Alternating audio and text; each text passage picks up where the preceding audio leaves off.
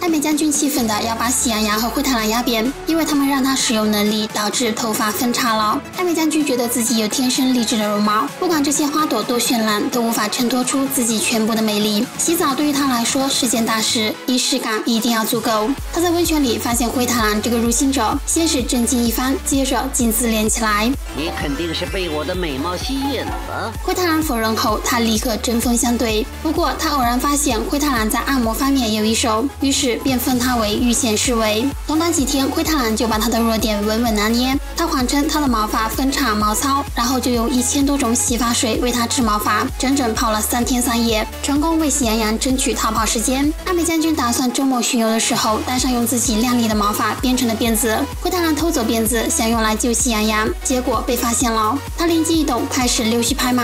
将军，您走到哪里都像漆黑中的萤火虫，绿叶中的一点红。大意就是爱美将军完美无缺，根本不需要辫子做装饰。爱美将军被哄得哈哈大笑，灰太狼因此成为他的心腹。为了帮喜羊羊偷奇里锁的钥匙，灰太狼在爱美将军的卧室搜寻，结果发现柜子里全是爱美将军自恋的照片，同时还发现爱美将军的另一面。原来以前的爱美将军心地善良，特意为矿工们修建温泉。只希望他们劳作一天后能好好放松，变回漂亮的自己。不知从哪天开始，爱美将军突然变了一个人，不仅霸占温泉中心，还把把这里最帅的男团抓起来，每天强迫他们没日没夜的挖矿，只因为他嫉妒他们长得比他帅。灰太狼用复制的钥匙帮喜羊羊打开洗礼锁后，两人联手对付艾美将军。本以为一定能打败他，没想到艾美将军身上居然有黑暗能量，他的力量大幅提升，竟挑衅的边绑头发边打架。因为使用能力，他的头发分叉了，这让他彻底怒了。在矿工的帮助下，喜羊羊和灰太狼得以逃脱。一个矿工刻了一尊艾美将军的雕像，堪称奇丑无比。艾美将军气愤的将雕像击碎。